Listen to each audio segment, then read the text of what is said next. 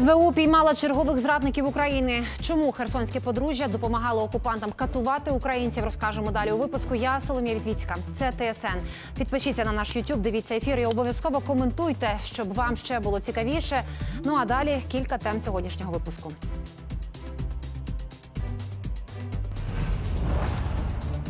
Цирконами по Києву. Навіть стати не встигла і зразу вибухи. Були один, другий. Як столиця пережила ранковий обстріл найновішими ракетами, які є в РФ. Беззмістовні звинувачення України. Немає жодних свідчень чи доказів, що Україна була пов'язана із цими атаками. Навіщо Кремль обріхує Україну та звинувачує в організації теракту в Крокусі? Про реакцію в світі розкажемо далі у випуску. Зустріч із первістком. Це щастя наше. Дивишся і сльози на очах. Від радості У Дніпрі врятували новоспечену матусю з немовлям. І як батько військовий приїхав з передової побачити найрідніших. Гіперзвуковими крилатими ракетами зранку росіяни вдарили по Києву. ППО спрацювала успішно, але уламки розлетілися по чотирьох районах міста. Найбільше постраждав Печерський район. Десятьох людей поранено. Серед потерпілих і 16-річна дівчина. Рятувальники досі розбирають завали. У Солом'янському районі уламками побило два приватних будинки. Падало небезпечне залізяче і в лісосмузі Голосієва, і на території приватного сектору в Дарницькому районі. Докладніше про наслідки ворожої атаки дивіться в сюжеті ТСН.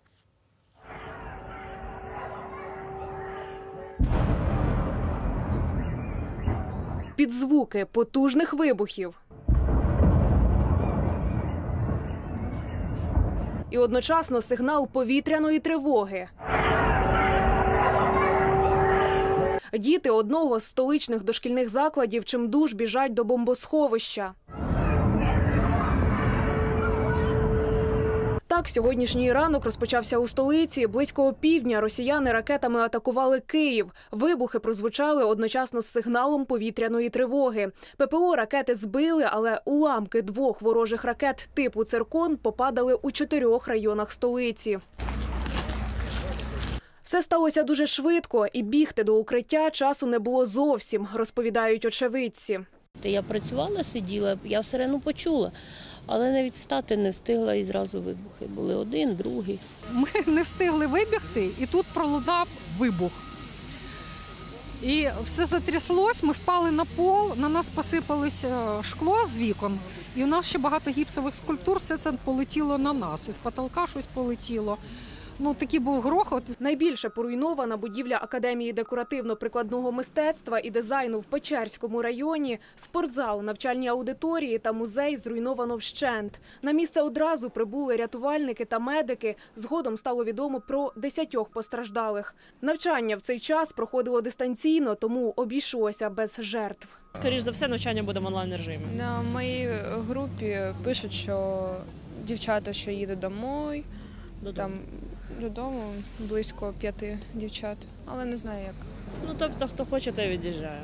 Кому так комфортніше. Вибуховою хвилею від падіння уламків повибивало шибки і в прилеглих житлових будинках, пошкодило і місцеву кав'ярню. Працівники саме перебували у будівлі. Якби не кофта, можливо, б я була більш ранена, більш поранена. А так дуже сильно відбивала. Я просто залізла під бар, у нас тут трошки є. І нормально. Ну, воно, слава Богу, що це був один просто один вибух. Після відбою тривоги та винесених вікон працювати не припинили. Гуртом взялися прибирати усі пошкодження. Зараз усі жінки і чоловіки всі працюють. У нас немає зараз жіноча, не жіноча. Зараз війна. Заколотимо вікно, завтра поставимо нове. Все нормально, будемо працювати. І попри все продовжувати робити каву. Всі хочуть каву, всі далі продовжують жити. І ми також. Аліна Лісова, Мар'яна Бухан, Денис Чиш, ТСН 1+,1. Циркон найновіша ракета в арсеналі Російської Федерації, і ними Росія по столиці України б'є уже вдруге. 7 лютого під час комбінованої атаки на Київ теж був використаний циркон. Знайдений сьогодні уламок великий та інформативний. Він дасть змогу вивчити реальний рівень технологій, який зараз доступний Росії для створення ракет. Про це пише інформаційно-консалтингова компанія Defense Express. Цирконом ворог атакував Київ із тимчасово окупованого Криму. Надати Україні допомогу негайно, не витрачаючи часу, закликала очільниця посольства США в Україні Бріджит Брінк. Такою була реакція на ранкову ракетну атаку росіян по Києву. За останні п'ять діб Росія по Україні запустила сотні ракет та безпілотників проти суверенної держави. І пані посол заявила, що Україна потребує допомоги вже зараз і не можна втрачати ані хвилини. В Одесі під час повітряної тривоги пролунала серія вибухів. Троє жінок постраждали, але поранення не важкі, повідомляє очільник Одеської ОВА Олег Кілер. Є пошкодження цивільної інфраструктури, вибите скло. Всі відповідні служби працюють. Наслідки вибухів уточнюють. 11 людей поранено вночі в Миколаєві. Уламки російського дрона частково зруйнували із десяток будинків приватного сектору. І ще один безпілотник влучив в об'єкт енергетики в Миколаївському районі. Поблизу Новобереслава на Херсонщині виявили тіло 71-річного чоловіка. Попередньо він загинув через скидання вибухівки із ворожого безпілотника. У селах Херсонського району росіяни пошкодили житлові будинки, господарські споруди, адміністративні будівлі, будинок культури, автомобіль. У центрі Херсона пошкоджено кілька будівель. У Вовчанську на Харківщині від рук росіян загинув пенсіонер. У Дергачах окупанти поранили чотири людини. Щонайменше два будинки зруйновано. У Козачій Лопані було влучання відразу п'яти ворожих керованих авіабомб. Троє цивільних поранені в Красногорівці на Донеччині, по якій росіяни вдарили керованою авіабомбою. Зі смерчів окупанти атакували Іванівку, з артилерії Курахівку. На Сумщині під російські обстріли потрапила цивільна інфраструктура, багатоквартирний будинок, вісім приватних осель, школа. Упродовж доби в прикордонних громадах пролунали 60 вибухів. Гатили увесь день окупанти і по Нікопольському району Дніпропетровщини. Побито 5 приватних будинків, а також агропідприємство, крамницю, авто, газогін та лінії електропередач. Збитки від останніх масштабних російських ракетних атак по енергетичній інфраструктурі оцінюють у щонайменше мільярд доларів. Таке припускає міністр енергетики Герман Галущенко. Остаточні цифри у відомстві повідомлять після розбирання завалів і доступу до всього пошкодженого чи знищеного обладнання. Директор Укргідроенерго Ігор Сирота казав, що на відновлення Дніпрогес після прильотів будуть потрібні роки. Для пришвидшення відновлення Україна звертається по допомогу до європейських партнерів. Зокрема, Швеція вже відгукнулася на запит українців і готова допомогти грошима, обладнанням та технологіями у відновленні української генерації. Міністерка енергетики Швеції Ебба Буш після зустрічі зі своїм українським колегою планувала відвідати енергетичні об'єкти Києва. Але сьогоднішня раптова ракетна атака на Київ змусила спускатися шведську делегацію в укриття. Проте рішучість підтримки України у шведів лише посилилась. Є великі завали, зараз їх розбирають. Не всюди є доступ до устаткування, щоб перевірити, який стан. Реально цифри будуть зрозумілі після верифікації е, пошкоджень. Але те, що це, я думаю, під в районі мільярдів, це точно. Ми готові до подальшої співпраці, яку можна назвати співпрацею двох кольорів жовтого та блакитного. З огляду на останні російські ракетні атаки, ця співпраця триватиме роками і включатиме допомогу з відновлення енергетичного сектору України. Через нічну атаку росіян в Одесі довелося зупинити трамваї і тролейбуси. Е, 300 тисяч абонентів е, на цю годину без світла повідомили в обласній військовій адміністрації. Уламки збитого дрона впали на об'єкт критичної інфраструктури. Спрацювало аварійне вимкнення системи. Пересипський район е, Одеси був геть знеструмлений. У решті районів застосовують відключення, щоб зменшити навантаження на енергомережі і дати можливість енергетикам завершити ремонтні роботи. Через відсутність електротранспорту на автобусних зупинках вишукувалися чималі черги.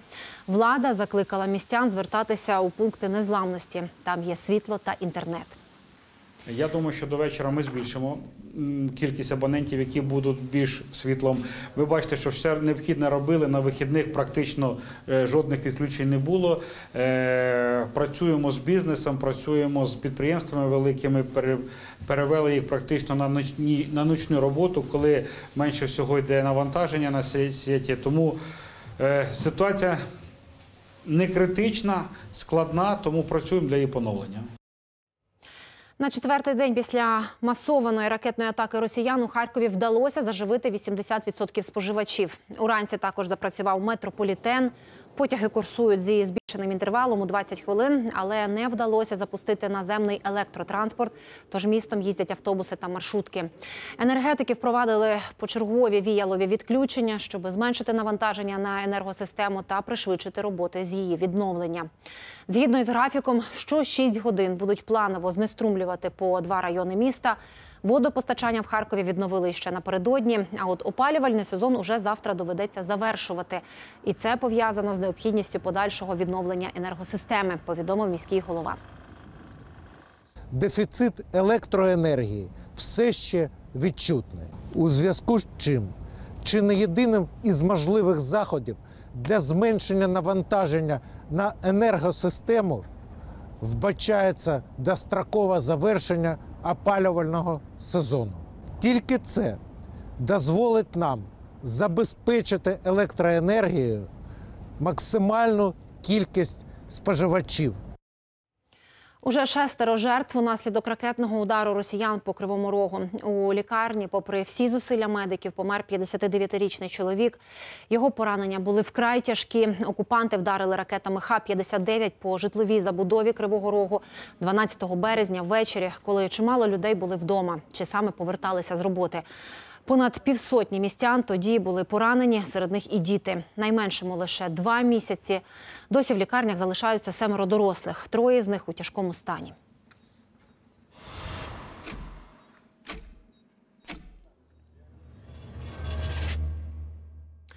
Росіяни за останні дні дещо просунулися вглиб української землі на Донеччині в околицях села Новомихайлівка. Це під Мар'їнкою, повідомляють експерти проєкту Діпстейт. Напередодні окупанти за підтримки авіації 25 разів штурмували українські позиції. Важка ситуація і в районі Авдіївки та Бахмута. Там за останню добу було кілька десятків атак із боку ворога. Усі кажуть у генштабі відбиті. Зіткнення також тривають уздовж залізничного полотна в околицях часового яру. Кілька штурмів було і на Оріхівському напрямку та на лівобережжі Херсонщини. Унікальні кадри роботи із вогневих позицій на бойовій машині піхоти зафільмувала знімальна група ТСН Маргарити Потапової в Серебрянських лісах на Донеччині. Там ворожі штурми стримують воїни гвардійської бригади Буревій. І завтра річниця від дня створення Національної гвардії. Більшість її бійців боронять нашу країну на усіх гарячих точках фронту. Ексклюзивний репортаж із передової ділянки. Дивіться далі. Лиманський напрямок окупанти тиснуть в районі населеного пункту Терни та намагаються просувати серебрянським лісництвом. Поїдемо е, за напрямком до лінії бойового зіткнення. Будемо відпрацьовувати двічі на день. Виїжджаємо працюємо по визначеним координатам, по визначеним точкам, де зосереджується ворог. В сутінках ще в досвіта ми їдемо до передової лінії фронту. Там нас зустрічає екіпаж бойової машини піхоти. Навідник Ігор в мирному житті музикант. Де тільки бачить фортепіано, береться грати для побратимів. От 30 років проіграв е, в естрадному ансамблі, е, який називався Фортуною. Називається. Музикальний інструмент поміняв на пушку, на кулемет, на автомат. Гарно грає, так? Да, дуже гарно грає. Дістатись вогневих позицій в тутешніх серебрянських лісах можна лише на гусенічній техніці. Поки сходить сонце і нічний туман ще не розвіявся, висуваємось до переднього краю. Знаю, чесно, це дуже небезпечно, це холодно і це вражаюче і незабутні зустрічати такі світанки на Донбасі. Поки водій на позивний загроза маневрує поміж мінних загороджень та заболочених кратерів від авіабомб, хлопці на броні вдивляються в небо, аби вчасно реагувати на ворожі безпілотники у небі. Але цього ранку нам щастить дістатись переднього краю без пригод. Над нами пролітають клини птахів, які повертаються з теплих країв, та поряд здіймається пара лелек, почувши гуркіт нашої броні. Окрім неба, небезпека чатує під ногами. Російські війська скидають сюди бомби з касетними боєприпасами, які накривають територію у кілька футбольних полів. Від будь-якого руху ці маленькі світлі кульки можуть здетонувати, а їх тут розкидано тисячі. Ну, коло них ходити особо не можна. Ну, як нас вибору немає, то, то ходимо. Багато тут таких сюрпризів? Так, да, дуже багато. По всьому лісі можна сказати. Наша аеророзвідка дає потрібні координати, і хлопці починають працювати.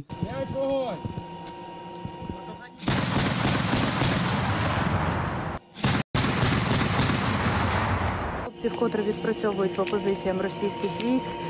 Відстань тут мінімальна, буквально кілька кілометрів, і є робота. Зараз будуть працювати.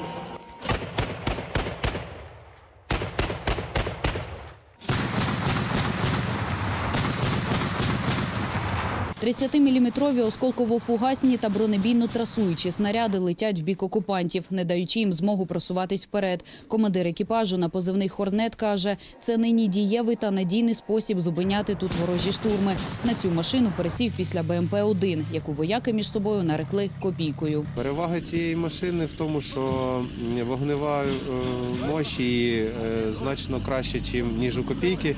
Але в копійки також є, ну, БМП-1, також є свої переваги. Але двоєчка, вона, звичайно, краще показує себе.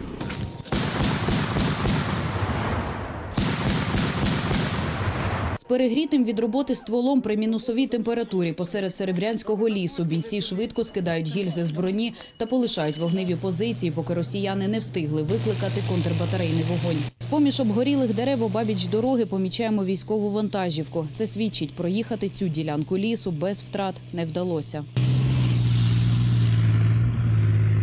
Така робота, що миттєвим ризиком для життя для 37-річного Олександра та його екіпажу за два роки війни вже стала рутиною. Боєць бригади Буревій добровольцем служить від початку повномасштабного вторгнення росіян і точно знає, чому він тут.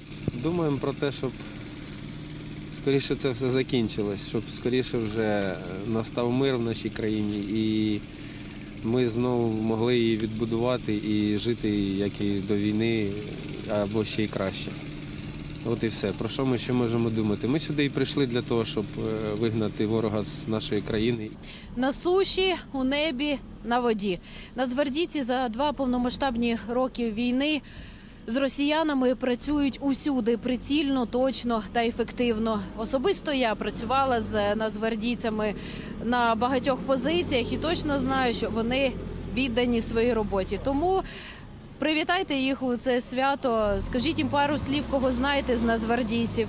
Подзвоніть, напишіть рідним, у кого є загиблі родичі Нацгвардії. І пам'ятайте, яку ціну хлопці платять за нашу з вами свободу.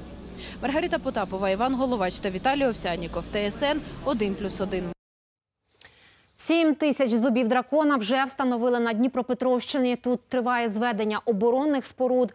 В обласній військовій адміністрації запевняють, до масштабних робіт залучили багато підприємств. Вони працюють на повну потужність. Зокрема, виготовляють залізобетонні конструкції. Їх виставляють на ділянках, що визначають військові. Такі піраміди є пасткою для ворожої бронетехніки. Вони працюють на суші та на морі, долають сотні кілометрів і щодня завдають найбільших втрат ворогу. Професійне свято сьогодні відзначають працівники Служби безпеки України.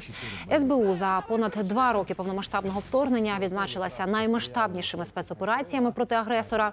Це і удар по Кримському мосту, і чималі втрати Росією кораблів у Чорному морі, а також систематичне знищення танків та систем ППО противника. У професійний день воїнів СБУ привітали Володимир Зеленський та головнокомандувач ЗСУ Олександр Сирський. Президент подякував бійцям за віддану службу та високу ефективність у наближенні спільної перемоги. Своїм працівникам подякував і голова СБУ Василь Малюк та наголосив, що їхня мета перемога над ворогом та цілковите звільнення України від російських окупантів. І наша Оксана Радіонова зробила матеріал про те, як нашій СБУ вдається діставати крутів державних зрадників, засекречених агентів, колаборантів чи просто рядових навідників. Репортаж уже є на нашому каналі на Ютубі, тож обов'язково подивіться. Українські безпілотники атакували і зупинили другу за потужністю на півдні Росії Новочеркаську електростанцію. Місцеві жителі повідомляли про звуки польотів дронів уночі над областю. Їх було не менше десяти. На відео в соцмережах видно вибухи, після яких спалахнула пожежа. Із ладу виведені два енергоблоки. Станція забезпечувала електрикою половину Ростовської області. Її губернатор заявив, що причини займання встановлюють. А про атаку безпілотників російський чиновник мовчить. І нові подробиці атаки в тимчасово окупованому Севастополі 23 березня, коли було уражено великий десантний корабель Росії Ямал. Головне управління розвідки України повідомляє, що ушкодження критичні. Пробоїна у верхній палубі зумовила крен на правий борт. У розвідці додали, що окупанти безперервно відкачують воду із підбитого корабля, який брав участь в анексії Криму. А з 2017 по 2023 рік був на ремонті. А яку бавовну на Росії ви згадуєте і вважаєте знаковою? Обов'язково поділіться із нами в коментарях до цього ефіру на Ютубі. Ну і звичайно, ставте вподобайку та підписуйтеся на канал. А я тим часом продовжую випуск ТСН. Тортури на камеру і беззмістовні звинувачення українців та заходу в організації теракту. Так, Кремль реагує на розстріл і пожежу в переповненому концертному залі Крокус. Захід застерігає російський режим, однак поки що марно це не допомагає, так само як і не помогло завчасне попередження про можливість теракту. Чого домагається Путін? Кореспондентка ТСН Яна Сисарчук розкаже далі. Надзвичайна загроза теракту. Після засідання Ради національної оборони і безпеки по всій Франції оголосили найвищий рівень загрози. Адже у терористичного угруповання Ісламська держава немає кордонів, а його осередок, що взяв на себе відповідальність за розстріл московського концертного холу Крокус, Вілаят Хорасан, вважають нині однією з найактивніших загроз у світі. Французам є чого стерегтися, адже за кілька місяців країна приймає Олімпійські ігри. До нас має приїхати більше мільйона людей. Дуже великі натовпи тут будуть. Так, я повністю погоджуюся з тим, що заходи безпеки треба підвищити, бо всі ми трохи хвилюємося. Президент Франції Мануель Макрон окремо застеріг Росію не використовувати теракт для пропаганди. Відповідальність за цей напад взяло на себе угрупування іділ. Інформація доступна нашим спецслужбам, так само як і інформація від наших партнерів, підтверджує напад здійснив іділ. З боку Росії буде водночас цинічно і контрпродуктивно з точки зору безпеки її власних громадян намагатися використати цей напад проти України. Радикалізацією росіян Кремль усіма доступними засобами свідомо займається з перших годин пропущеного силовиками теракту. По-перше, звинувачує американські спецслужби. Мовляв, якщо попереджали про можливий теракт за два тижні, значить знали більше ніж сказали. По-друге, спійманих підозрюваних у скоєнні терактів катують просто на камери. Одному з них відрізають вухо. Ми свідомо не даємо в ефір ці кадри, які російські силовики поширюють соцмережами. На лаві підсудних вже геть офіційно підозрювані з'являються з неприхованими слідами тортур. Одного з них привозять непритомним. Питання про ці тортури задають речнику Путіна тільки західні журналісти. Пісков заявляє, що залишить питання без відповіді, демонструючи росіянам, як тепер можна розправлятися з ворогами держави. В організації теракту звинувачують хто українців, хто одразу захід.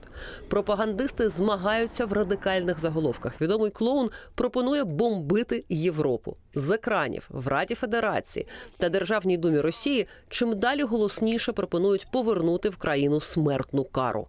Британський міністр фінансів Джеремі Гант напередодні заявив, Росія створює димову завісу пропаганди.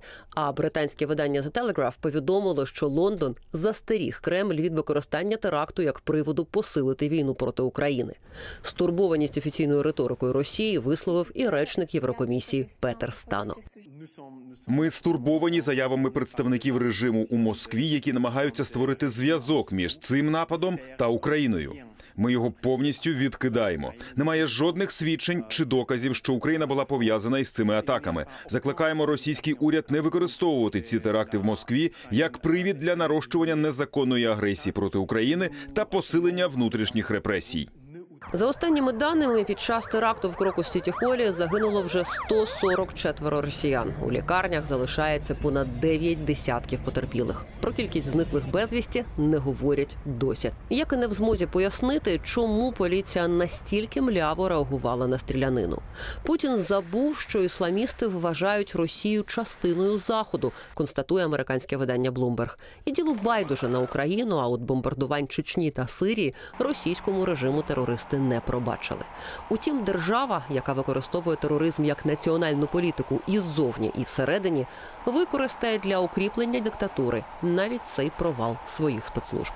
Яна Слесарчук, Павло Садовников, ТСН 1+,1.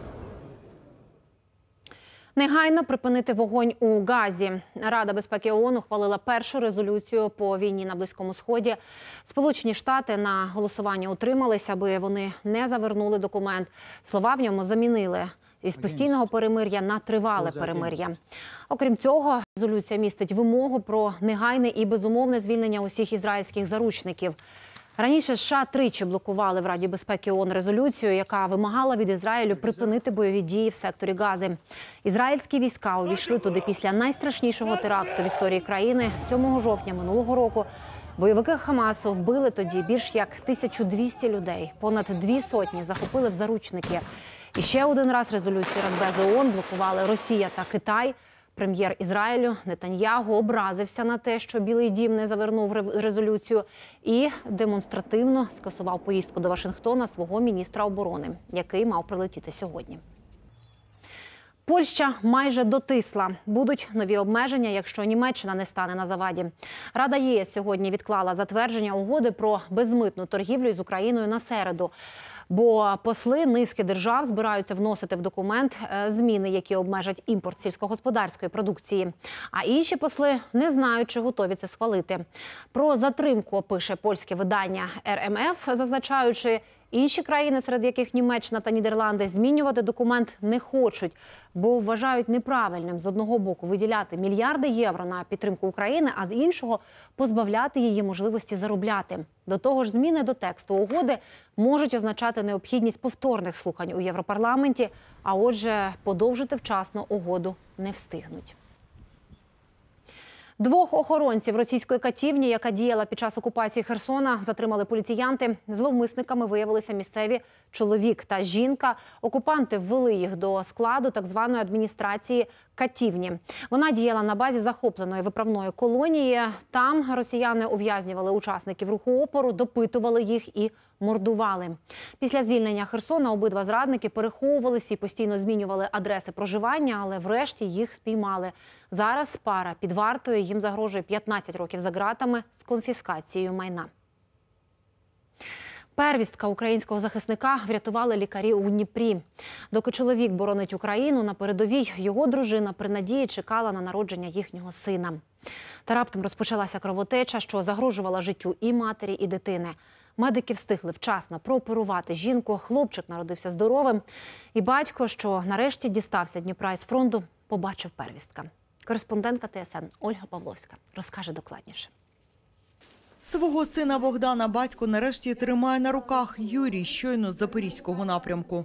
Для народження дітей такий час, важкий час.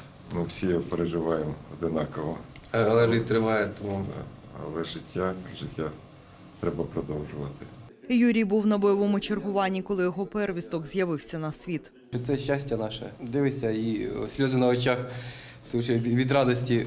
Медики зізнаються, ситуація була вкрай складна. Малюк народився за день до запланованого кесаревого розтину. Вдома почалась кровотеча і швидкою доставили Наталю до нас. Кровотеча це загроза життя і для дитини, і для матері. Часу було обмаль, операційна була готова, бригада була готова. Все добре, бо все було в час. Ось перший звук малюка з операційної. Коли він кричав на операційному столі, отий малий Богданчик, ну були, були всі щасливі. І оці сльози, які ми бачимо, ну, вони е, коштують дуже багато. Наталя та Юрій познайомилися три роки тому. Він почав власну справу будівельника, коли відслужив в АТО. Подъезд ремонтировал. Сначала с тещей познакомился там. Она что-то мне рассказывала, я говорю, так, идите. И потом теща как-то там раз, разнакомилась, разнакомилась. Пішло, пішло, пішло, пішло, пішло, пішло, пішло, потім клас уже, ух, доживемо. Він повернувся до війська у перший день після повномасштабного вторгнення. Його дружина Наталя, очільниця видавництва, зізнається, попри всі випробування, мріяли про дитину. Ми дуже хотіли і чекали. Ну я все ж таки за те, щоб життя тривало і зручного часу немає, і не не настане ніколи. Треба жити ну, зараз. І завтра може й не бути. Юрій на передовій готує дружині подарунок. У вільну хвилину складає зі штучного каміння їхній портрет. А зараз трошки не, часу взагалі немає, тому що трошки оплашав. Ну, ну все одно збираюся далі робити. За кілька днів він знов повертатиметься на передову боронити запорізький напрямок, бо понад усе хоче, аби його син зростав під мирним небом. Олександр Куліш, Дніпро, ТСН 1+,1. Великий піст зараз триває у вірян західного і східного обрядів. Він може бути поживним та смачним. Переконували газдинь в Івано-Франківську. Для них улаштували майстер-клас із приготування пісних передвеликодніх страв по-гуцульськи. Для початку обрали вареники з квасолею та білими грибами. Тісто без яєць, так зване заварне. Його горяни готували із діда прадіда. Участь у майстер-класі була не безкоштовною. Всі гроші організатори спрямували на підтримку ЗСУ. А кожна учасниця додому повернулася із бажанням готувати традиційні українські страви власноруч, бо це насправді легко, і навчити цього своїх дітей. При цьому пам'ятати найголовніше: піст це не стільки обмеження в їжі, як позитивні думки та добрі справи. Мені сьогодні було приємно згадати себе маленькою. Я ніби виявила себе у мами на кухні. Колись я допомагала їй ліпити вареники.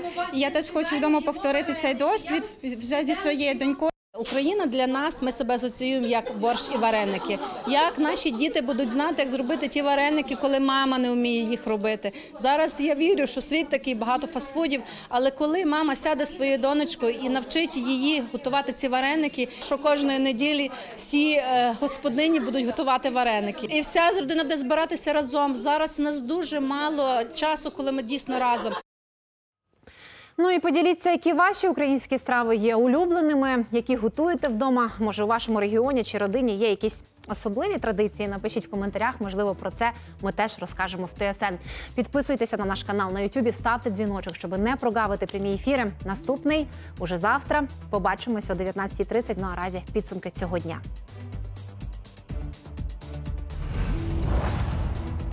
Столицю атакували гіперзвукові протикорабельні крилаті ракети Циркон. Ворожі цілі збиті, уламки впали в чотирьох районах столиці. Найбільше пошкоджень у Печерському районі 10 людей постраждали. Щонайменше мільярд доларів так оцінюють збитки від останніх масштабних російських ракетних атак по енергетичній інфраструктурі України. Для оперативного відновлення енергетики звертаються по допомогу до європейських партнерів. На четвертий день після масованої ракетної атаки росіян у Харкові вдалося заживити 80% споживачів. Уранці запрацював метрополітен. Бої в серебрянських лісах на Донеччині. Унікальні кадри відбиття ворожих штурмів гвардійцями бригади Буревій на своїй бойовій машині. Тортури на камеру і беззмістовні звинувачення українців та заходу в організації теракту. Так Кремль реагує на розстріл і пожежу в переповненому концертному залі Крокус. Двох охоронців російської катівні, яка діяла під час окупації Херсона, затримала СБУ. Зловмисниками виявилися місцеві чоловік та жінка.